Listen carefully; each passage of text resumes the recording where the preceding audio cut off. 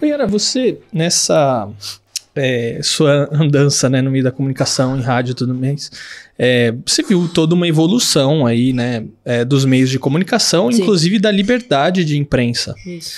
É, quando a gente, por exemplo, se eu pegar o meu celular hoje, né, as pessoas com celular também são emissores. Exato. Né? Que antes, para você ser um comunicador, ficava ali, você tinha o oligopólio em cima da- daquelas mídias.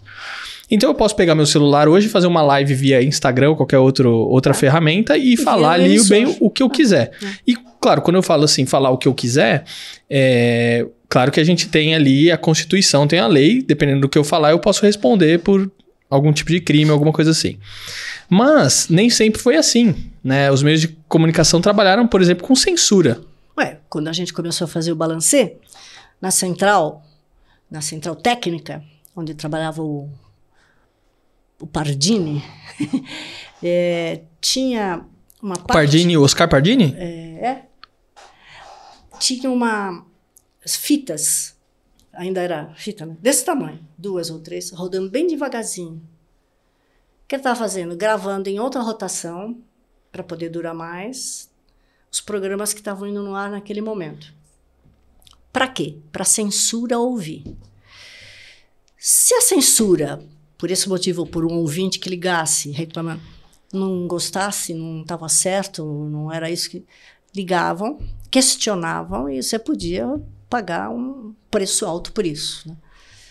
E uma vez só que nós tivemos que fazer isso e preparar uma bela resposta, até fui eu e o Osmar que fizemos, para o censor, que depois desistiu, mas porque era muito humor. O Tatazinho, o Nelson Tata Alexandre, ele fazia o papel de um, de um vizinho do estúdio e ele batia pum, pum, pum, fazendo conta que batia na parede assim. Osmar! Ele, aí o Osmar, ô ô, vizinho, tudo bem? Tudo bem. Eu estou ouvindo aqui o programa hoje. Ele falava como se estivesse falando longe, né? É o seguinte, eu trabalho no metrô. Estavam construindo a estação Marechal Deodoro lá do metrô. E o barulhão do tum, tum, entrava no ar às vezes, né? Então, a gente começou a adaptar, trazer o barulho para dentro do programa. Era o vizinho. Eu trabalho no metrô e agora estou descansando aqui em casa. Pô, e você tá com essa música aí chata, quem que tá cantando? E quem que tava cantando era, podia ser o Adoniran, podia ser a Gal, podia ser quem fosse.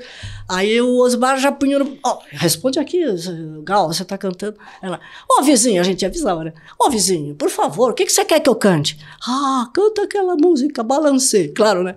Ô balancê, balancê, pronto. e assim ele contava da vida do operário no metrô, porque ele fazia de vizinho operário daquele, daquela estação. Bom, a gente ganha pouco. Foi por isso que a censura reclamou. A gente ganha pouco aqui e não é reconhecido. Mal tem tempo para almoçar. Estou aqui todo sujo, mas estou ouvindo você. Então. Você não isso- podia nem falar que ganhava pouco. Não, não, não podia imaginar. E se você fizesse como Tatá fazia o papel de um, de um mais delicado, um homossexual que chamava. Não me lembro o nome que ele inventou para esse personagem.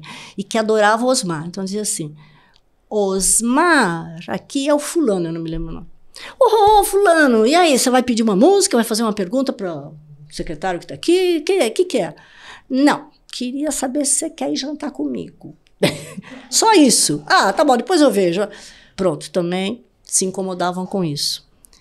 É, pediam a fita, mandava a fita, eles viam que não estava dentro de contexto nenhum provocativo, era, era farra. O programa ia no ar ao meio-dia, ao vivo. Terminava às duas da tarde. Imagina você manter duas horas ao vivo de programa. E naquela velocidade típica de rádio de Osmar Santos. Do mesmo jeito que ele transmitia um jogo de futebol, com a mesma agilidade. Então tinha que ter muitas dessas entradas, essas surpresas. E tinha que ser engraçado, porque as pessoas estavam na hora do almoço, queriam relaxar. A gente era muito ouvido por carro, né, pelos automóveis que estavam indo, se deslocando. Quantas vezes que eu não parei no farol do lado, olhava do lado, o cara quá, quá, quá, quá, tava ouvindo o balancê. é muito engraçado.